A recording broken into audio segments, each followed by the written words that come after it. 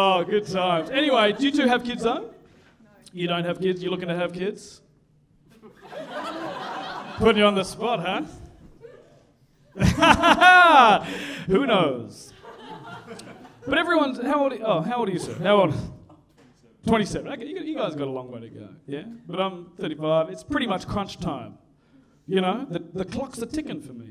I've only got another 30 years left. It's it's counting down, and um, all my friends are almost on their second kids, and I'm just like, I don't, I don't know. I like kind of being single and footloose and fancy free.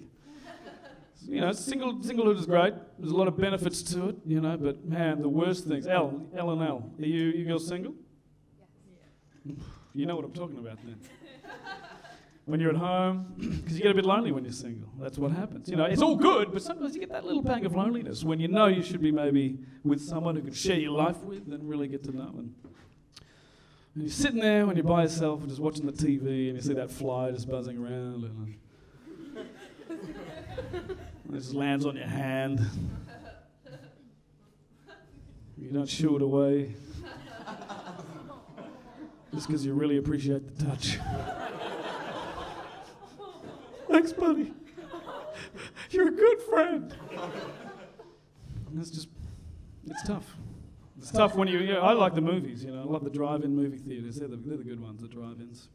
And that's hard to do by yourself, you know. It gets a bit embarrassing when you call up the cab company. that's an expensive fare.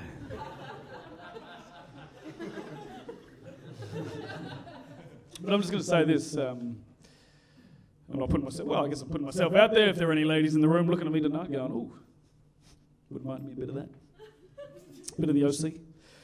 I'm just going to put this out there and say, look, I treat lovemaking like I treat show business. And in show business, you've got to leave the audience wanting more. So if there is any lady in there tonight, I'm just going to let you know that I'm going to leave you extremely unsatisfied. It's. but you'll probably want some more. Uh, good times, good times. Mm-hmm.